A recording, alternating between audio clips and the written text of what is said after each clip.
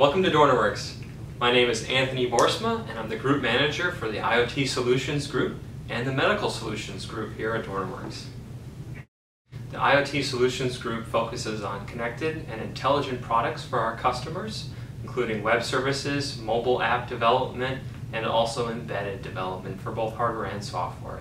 Uh, similarly, the Medical Solutions Group does the same for embedded software and embedded hardware, uh, and especially when it connects with connected products for IoT solutions as well. That's our real sweet spot between the two products.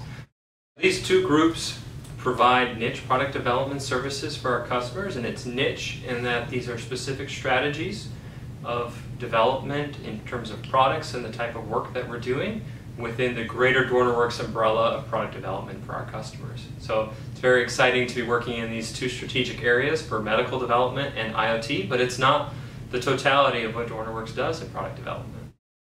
A really cool project in the past few years that DornerWorks has worked on has been a prosthetic elbow, which combines both of these two groups in one project.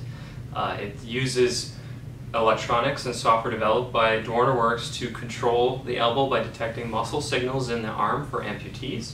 And it also has corresponding mobile app development that's used to configure the product as well. Uh, it's great to see the two groups work together and we have more and more of these projects coming down the pipeline.